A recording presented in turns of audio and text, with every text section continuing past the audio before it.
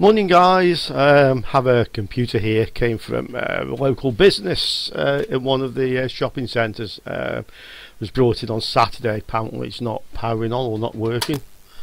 Uh, so let's have a look, so I've put some power onto it, um, hit the start button, yeah, the fans are spinning, uh, so that's a, a good sign, there's some life in here, yeah, they've taken the hard drive out because there was a lot of sensitive information on there.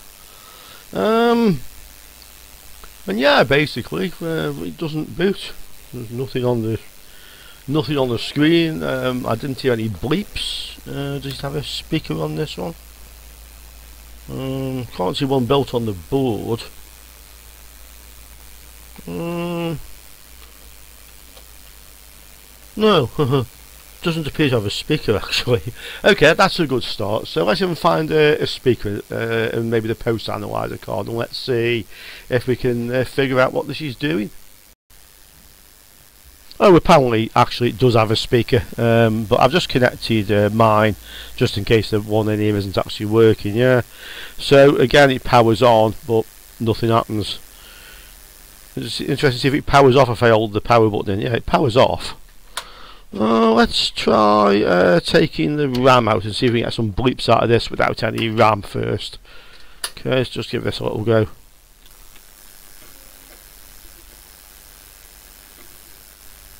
No. No bleeps, not even without the RAM uh, connected in there, okay. Let's try uh, just disconnecting all the other uh, connectors as well uh, that are around here. Um, and we'll try. So we've basically just got the motherboard and processor and nothing else plugged into it basically yeah. Just disconnect these uh, SATAs okay. Yeah so that's basically down to all, all the basics now. Just the motherboard. Uh, we can take the graphics card out as well and see if we can get any bleeps out of this now yeah uh, with just a, uh, motherboard and processor. If not, we'll have to take the motherboard out and have a look to see if we can determine what's actually going on with it. Of course, it's fiddly to get the damn graphics card out as usual.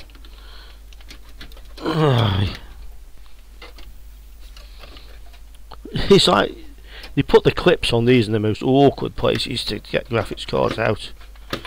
I can just about see the end of it. It's down under here somewhere. Uh. No, I managed to release it, but not release the back of the uh, back of the cord. Yeah. You know, it's proving so fiddly. I'm just going to take the motherboard out of this and let's have a look at it. Okay, so the board's out and cleaned. Oh, one moment, one camera frozen. That's better. I had to uh, get the machine out from under the, the shelving and put a larger hard drive on because uh, the one that was on there was full of YouTube videos now. It was only a 500 gig. I've put one of the uh, one terabytes I out if you remember the machine I repaired. Well, actually, the one I couldn't. yeah, yes, it was. It was one I repaired um, a couple of weeks ago. Uh, the gaming machine that had the uh, GTX 970. Uh, that graphics card is now in my one of my PCs at home, and uh, one of the one terabyte drives in this PC to store YouTube videos. So that's worked out quite well. Uh, the motherboard I've sold, by the way. Uh, with some other parts so that that actually came out rather good uh, deal that one. Okay uh, fact, let's not put the graphics card on. Let's just uh, try this with its onboard graphics. So I've uh, got take this back off again. You put the little latch in this in the most awkward place to get to uh, yeah. Anyway that was the point of the story. That's so since then, uh, the USBs were all settling down. I've plugged them into different ports. Yeah, hopefully stop the flashing on this camera. Uh, it's kind of getting used to it, and then sometimes it's dropping the camera at the moment. Uh, okay, anyway, enough waffle. So here's our motherboard. Uh, let's have a speaker on there. Uh, let's connect a switch to this on power switch, and uh, let's see what it does now on the bench again. So no RAM, just the motherboard on off switch should be there I would think uh, power's on powered up on its own and nothing and all the switch and shut it down doesn't want to shut down actually. This motherboard's not behaving very well, is it? I'll switch it off at the uh, power. I said I get to switch on and not start, yeah, and I can start it myself with the with the switch and see what it does. Oh, oh no, it started again. Uh, let's get the uh, post analyzer as well. Let's uh, see what that thinks of this uh, motherboard. Yeah, let's let's uh, let's see what this uh, thinks of it. Okay, try this. Um, all zeros, nothing happening. Uh, uh, hmm. Some lights lit up. We can uh, we can put it in the other slot as well to be sure. There we go. Okay, power on again.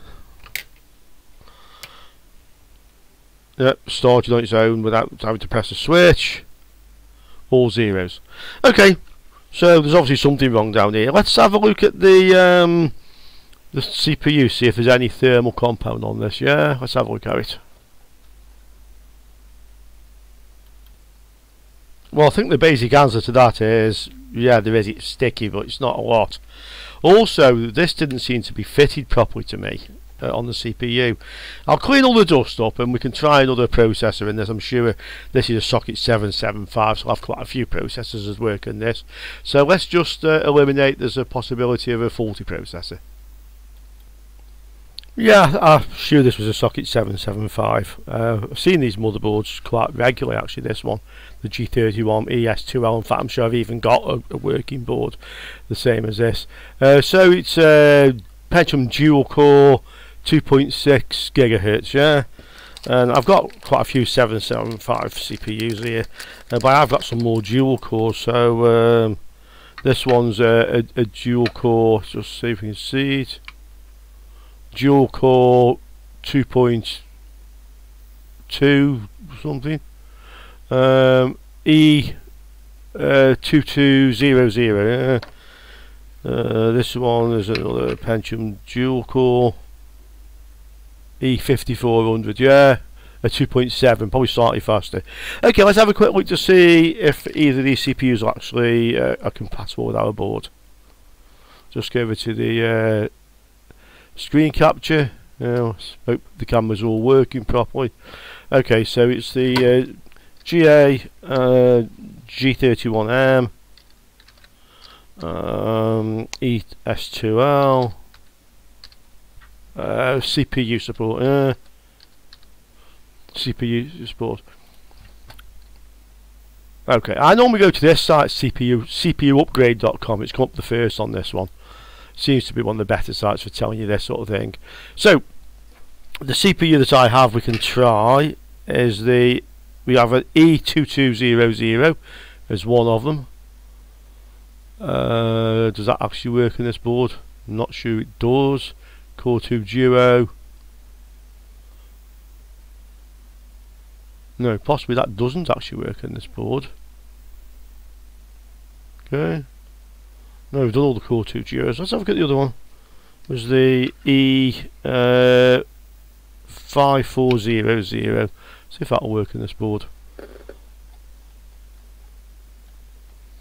Whoops, that's my phone close to the speakers making a bit of a noise.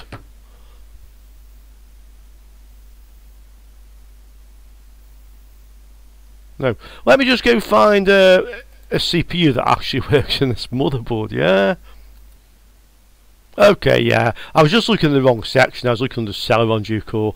Dual core. So uh, E2200 was fine. Yeah, and then the other one was E5400 was it? Um, yeah, they're both fine. They'll work on this board. Okay, so let's just try another CPU or try on both, yeah. Let's see if that gives us any joy. I'm pretty sure these are good CPUs though. So, uh, CPU socket looks fine. Uh, no particular reason to expect. Uh, maybe just here, bit of dust or dirty. Let's see if I can just. Yeah, it's gone now. Can you see there's a speck of dust on there? Yeah. Okay, let's put our 5400 and let's see if uh, we can persuade this to make any bleeps. Yeah, see if we get sound out of it now. Right, so I've put a bit of heatsink compound on, just balance my fan on top, power on. What's it do now? It doesn't do anything because I've unplugged the power leads. nice one, Richard. Okay, let's uh, try again with some power cables attached, yeah? Starts on its own again, which I don't particularly like. Uh, still reading all, all uh, zeros on the post analyzer, so still doing nothing, yeah? Um, have a quick, just check the CMOS battery, so I didn't think to do that earlier, need, need to do that. Uh, let's have a look.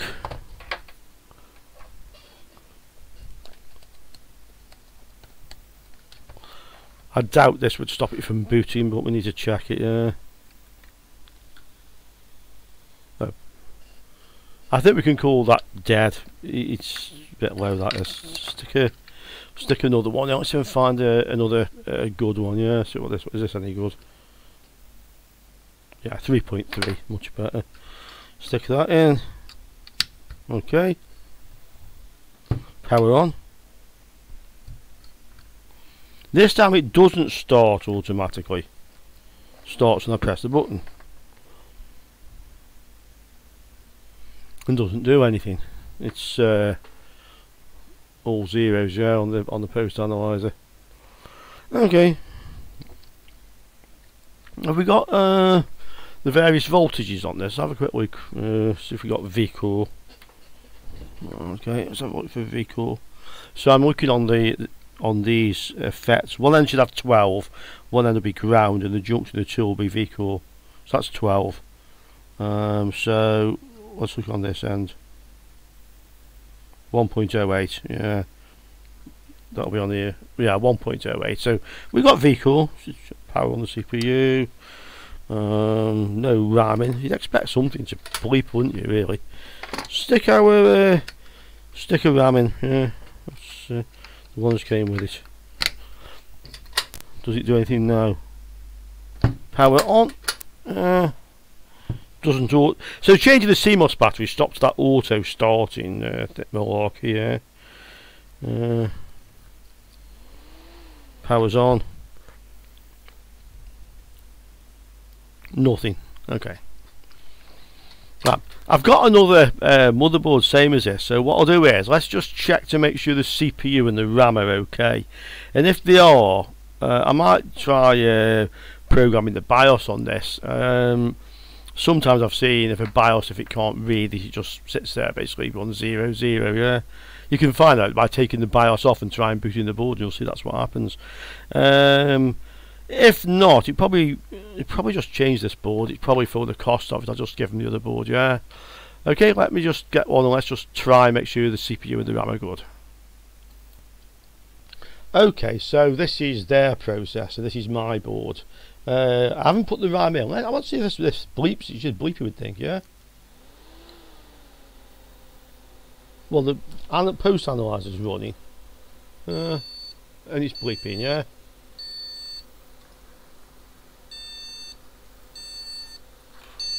so that that board's running yeah so it looks sorry it looks like their CPU is good let's try their RAM okay so I've put their RAM and I've connected my monitor yeah uh, power's on boot her up uh, let's see what it does now yeah yeah one bleep you see the post analyzer there yeah and uh, I had a picture on the screen yeah it's asking me to uh, insert the boot device Okay, so we know their RAM's good, we know the CPU's good. Um, need to just check their graphics card now. It's uh, GVN95TOC, one gigabyte. Not sure what that is. Maybe might as well just have a, a quick look just to see what that is out of interest. Yeah, let's let's have a nosy. Let's have a nosy. So it's a, a GA uh, N95TOC. Okay. GA N95 TOC. Some sort of uh, NVIDIA card.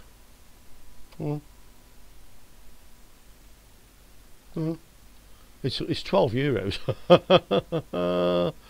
uh, what actually is that?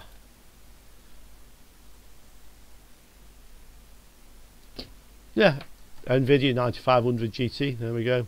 Um, so yeah, let's just uh, let's just check that and see if that's working as well. Okay, so there uh, graphics cards in as well now. Um, just so that it boots up. Think something. Yeah, I've got one bleep out of it. Yeah. There you go. So yeah, it, it's started up. Yeah telling me I've got a single channel RAM which is exactly what there is in there okay disk boot failure of course okay so I think with this one we're going to make this a really short video just quick uh, computer diagnosis not really a repair um, and I'll uh, I'll look at the motherboard because no doubt I'll get to keep it um, but the customer can have this back now uh, quick repair they'll be happy and uh, we've got something else we can look at a bit later. I think I'll try uh, reprogramming the BIOS actually just to see if we have three out of three uh, gigabytes that won't start due to corrupted BIOSes yeah? Okay see you very soon guys. I've got another interesting video coming up right about now actually. See you soon. Bye